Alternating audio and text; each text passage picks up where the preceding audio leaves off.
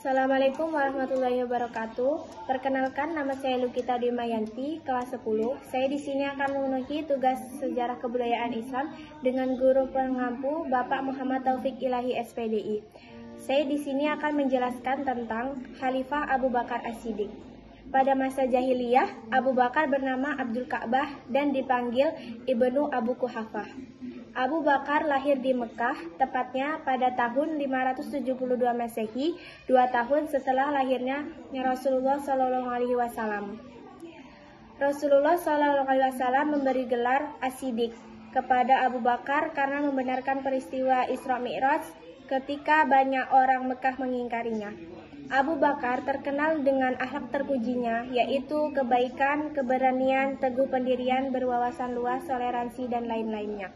Substansi dan strategi dakwah Abu Bakar As-Siddiq Masa kepemimpinan Abu Bakar menjadi khalifah berlangsung selama 2 tahun 3 bulan 10 hari 632 sampai 634 Masehi. Masa kepemimpinan Abu Bakar As-Siddiq berlangsung selama 2 tahun 3 bulan 10 hari.